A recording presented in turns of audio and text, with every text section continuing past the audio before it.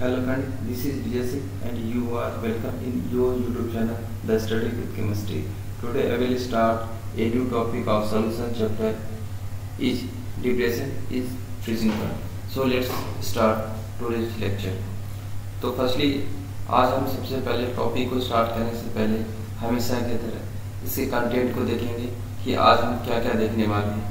आज हम बेसिकली देखेंगे डिप्रेशन इन फ्रीजिंग पॉइंट क्या होता है और इस पर बेसिक न्यूमेरिकल करेंगे।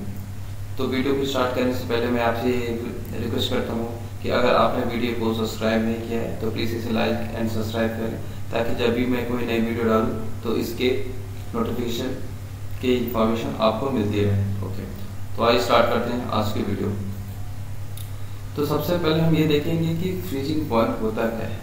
फ्रीजिंग पॉइंट को लेकर सभी के मन में कुछ ना कुछ ऐसे एजप्शन है जिससे कुछ क्लियर कट नहीं हो पाता। सबसे पहले मैं आज आपको फ्रीजिंग पॉइंट का डिफिनेशन दूँगा। तो freezing point of a liquid is the temperature at which vapour pressure और solvent in its liquid and solid phase become equal okay देखिए, सबसे फ्रीजिंग तो डिफिनेशन से क्लियर है। फ्रीजिंग पॉइंट पर जब भी हम रिकॉल करेंगे तो फ्रीजिंग पॉइंट कब, किस केस में आता है कि लिक्विड केस में आता है। यानी कि जब कोई लिक्विड फ्रीज होकर किस स्टेट में चला जाता है? सॉलिड स्टेट में। तब उस केस में फ्रीजिंग फ्रीजेस होते हैं, ठीक है? तो मैं वही कह रहा हूँ freezing point of a liquid is the temperature at which vapour of solvent in its liquid and solid phase become equal यानी कि एक लिक्विड का वेपर प्रेशर है, ठीक?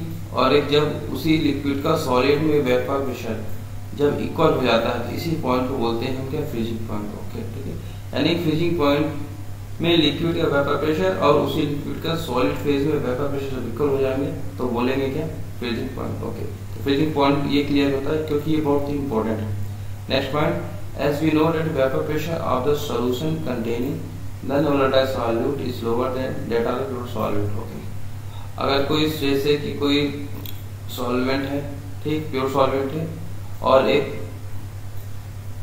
इसी का सॉलिड का एक पार्ट एक पार्ट ये लेते थे ठीक। है तो अगर इसमें कोई नन वोलाटाइल सॉल्यूट को मिला देते हैं, ठीक? तो इसका जो वेपर प्रेशर होगा, इसके ओरिजिनल के वेपर प्रेशर से थोड़ा डाउन हो जाएगा। ये उसी बात को कह रहे हैं। As we know that the vapour pressure of the solution containing non volatile solute is lower than that of the pure solute okay clear next point its freezing point will be lower than that of the pure solvent यानी कि ये जो नया वाला solution बना है, इसका जो फ्रीजिंग पॉइंट होगा, इसके ओरिजिनल के पॉइंट से थोड़ा लो हो जाएगा। ठीक? उस नॉन वोलेटाइल सॉलिड को मिलाने से। अब इस इसको हम एक ग्राफ के थ्रू क्लियर करते हैं। ठीक? आइए देखते हैं। तो इस ग्राफ में बेसिकली हम सबसे पहले तो ये क्लियर कर लेंगे कि जब हम वेपर प्रेशर और टेम्परेचर के बीच ग्राफ प्लॉट करते हैं, यानी कि when we plot the graph between vapour pressure and temperature यहाँ पे हम प्रेजेंट टाइम में, ठीक? जब हमने प्योर सॉलिड लिया था, ठीक? इसमें हमने किसी वोलेटाइल सॉलिड को वेस्ट किया। तो इसका वेपर प्रेशर डाउन की तरफ़ आ गया। तो इधर ये डाउन आ गया, ठीक? अब ये जितना डाउन आया होगा, ठीक?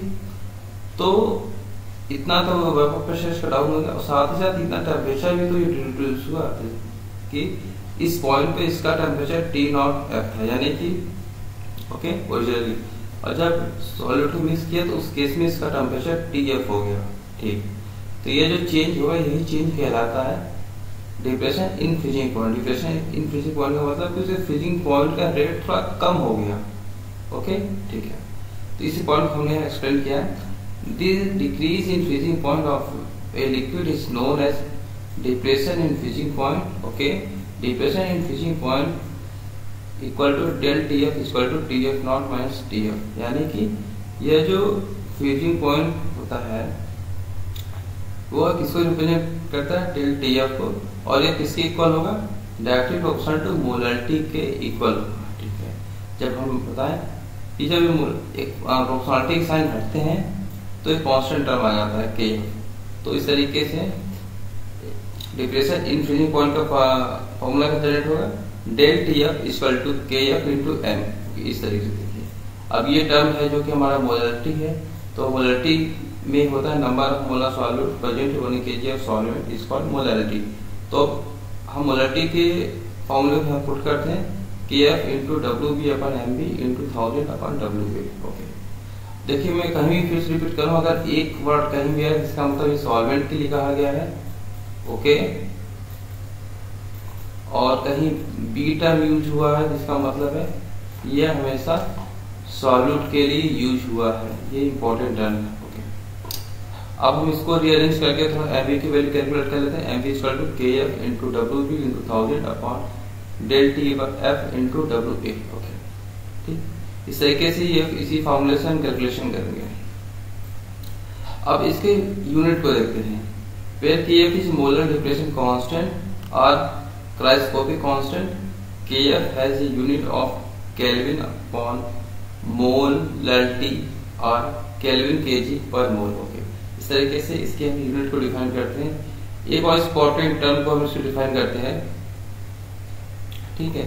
ये कुछ, इसकी एप्लीकेशन ही कह लीजिए कह लीजिए कि ethylene glycol is used to water in a radiator to lower its freezing point यानी कि जो वेंस के रेडिएटर होते हैं, उसमें इथाइलिन ग्लाइकॉल यूज़ करते हैं, जिससे कि उसके रेडिएटर जो हो कूल हो जाए और जल्दी ठंडा ना हो। ओके इसलिए ऐसे सब्सटेंस को हम कहते हैं एंटी फ्रीज सोल्यूशन यानी कि ethylene glycol is also known as anti freeze solution okay ऐसे ही जो यूरोप के कुछ कंट्रीज़ होते हैं, वहाँ के रोडों में कुछ स्नो फॉल्स हो जाते हैं तो उन्हें कभी कभी तो ये रास्ता हटाना काफ़ी टफ हो जाता है। इसलिए कुछ जो ट्रैफ़िक कंट्रोल वाले होते हैं वे कॉमन सॉल्ट और एनहाइडस कैल्शियम क्लोराइड के मिक्सचर को यूज़ करते हैं जिससे कि उनका फ्रीजिंग पॉइंट लो हो जाता है और वो रास्ते से हटाने में इजीली हो जाते हैं। ठीक। और ये जो फ्रीजिंग पॉइंट होता है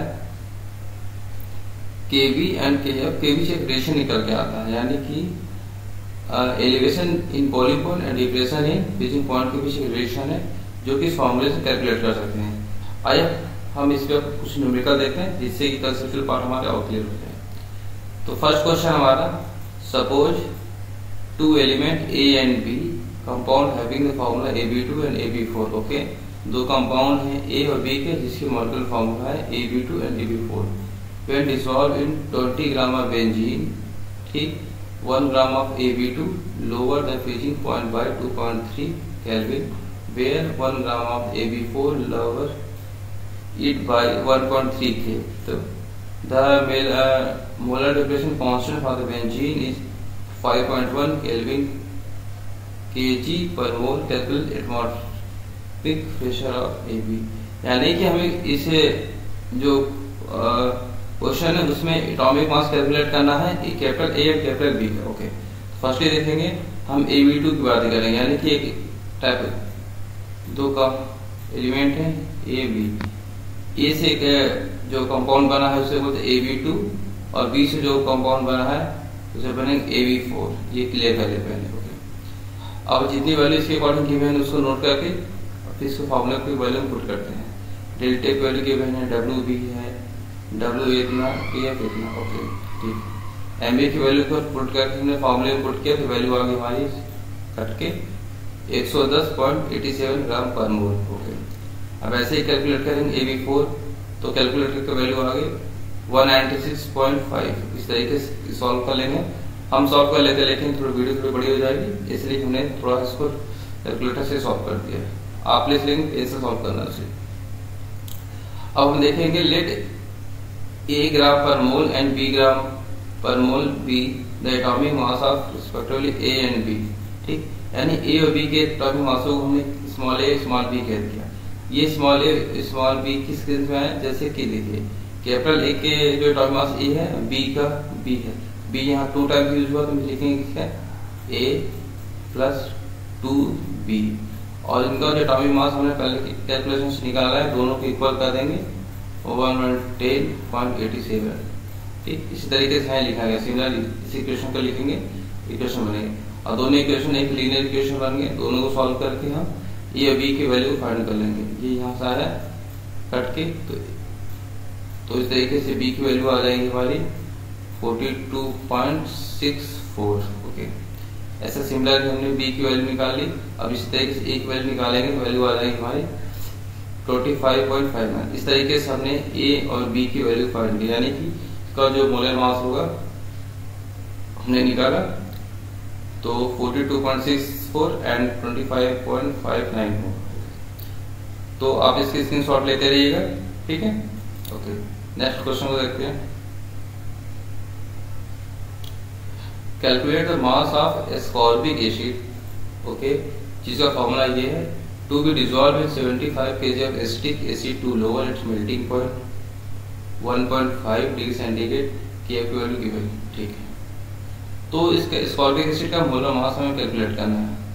तो जो वैल्यू गिवन है, पहले से नोट करते हैं। एसिटिक एसिड का मास गिवन है। और एस्कॉर्बिक एसिड का मोलर मास हमने कैलकुलेट कर लिया 176 जो कि फॉर्मूला की वजह से।